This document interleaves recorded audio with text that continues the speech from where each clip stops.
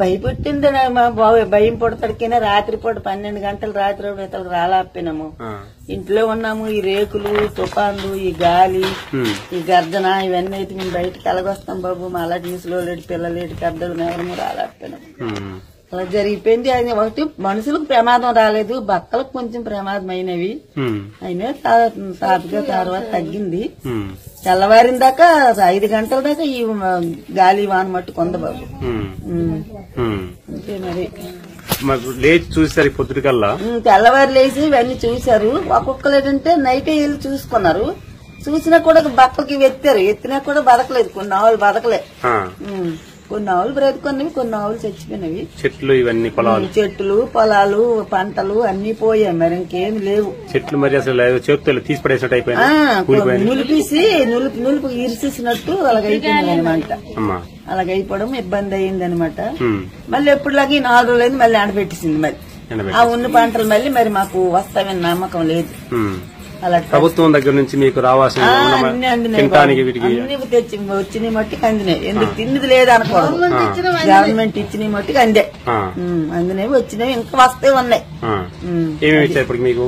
ఆ, ఏమేమి ఇచ్చారమ్మా? మాకు బియ్యం ఇచ్చారు పప్పులు తర్వాత పంచదార. తర్వాత ఇంకేటమ్మా ఉల్లిపాయలు దుంపలు కందిపప్పు నూనె నూడిల్స్ బిస్కెట్లు గోధుమ పిండి ఇవన్నీ ఇచ్చారు. కొవ్వొత్తులు, ఇచ్చారు. మస్కిటో క్యాల్స్ కూడా ఇచ్చారమ్మా? అలాంటి అవి ఇవ్వలేదు ఓకే. ఇప్పుడు మీకమ్మా మీ వయసు ఎంత ఉంటుంది తల్లి? నా వయసు అంటే చిల్లర ఉందా? డెబ్బై చిల్లర మీ వయసు ఎంత ఉంటుందమ్మా? మా వయసు డెబ్బై.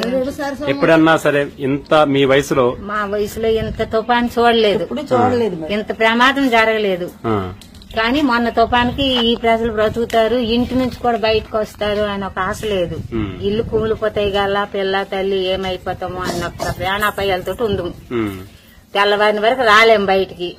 మగోళ్ళు మగోళ్ళు ఇంట్లో ఉన్నారు అంటే వాళ్ళు కూడా రాలేకపోయి అలాంటి బాధలు పడ్డారు. సరే ఇక ఇప్పుడు వచ్చింది. ప్రాణాలతో బాగున్నాం. ఇల్లు ఎగిరిపోయినాయి. సార్లు ఆవులు సార్లు ప్రమాదాలు అయిపోయినాయి. ఉమ్. మీ పెన్షన్ వస్తుందమ్మా? మాకు పెన్షన్లు వస్తున్నాయి. చంద్రబాబు నాయుడు పంపించవలసిన దినుసు మొత్తం అందుతుంది. ఏమి ఆటంకం లేదు. ఆటంకం ఏ ఇబ్బంది లేదు. అమ్మా మీకు చంద్రబాబు నాయుడు కాకుండా ఇంకేమైనా సహాయం చేశారా? ఇప్పుడు స్కిమ్స్ హాస్పిటల్ వాళ్ళు మట్టుకు సాయం చేశారు కొద్దిగా. ఎవరికి తెలియక ఇళ్ళు ఎవరి వైపు పడిపోయావు వాళ్ళకి సాయం చేశారు. మరి ఇంక మరి బయట వాళ్ళు ఇంకెవరైతే మా ఊరికి ఇంక సాయం ఏంట్లేదు బాబు. పరదాలు వచ్చినాయి. పరదాలు పరదాలు వచ్చినాయా. వెరీ గుడ్ వెరీ గుడ్ ఆయన ఎక్కడే ఉన్నారు తెలుసు? చంద్రబాబు నాయుడు గారు మీ ఊర్లో ఉన్నారు తెలుసా? మా ఊర్లో పలాసలు ఉన్నారు పలాసలో ఉన్నారు. ఆయన తక్షణం రావటం వల్ల మంచిదా చెడుదా? మీకు వచ్చి మంచిదే. తక్షణం. రావడం మంచిది కదా బాబు. మళ్ళా మాకంటే పర్వాలేదు. మనకంటే ఇంకా పేదవాళ్ళు ఉన్నోళ్ళు ఉన్నారు కదా. వాళ్ళకి ఇబ్బందే కదా. అన్ని గబీమని వచ్చినా వందినాయి మళ్ళీ అన్ని ఏం పర్వాలేదు. ఊరికి ఆ ఇబ్బంది దానికి అతనికి మరి అనడానికి మరి పని లేదు మరి. అయిపోయిన ఆ- ఆ. సాయంకాలంకి వచ్చేసినారు. ఆదుకున్నారు.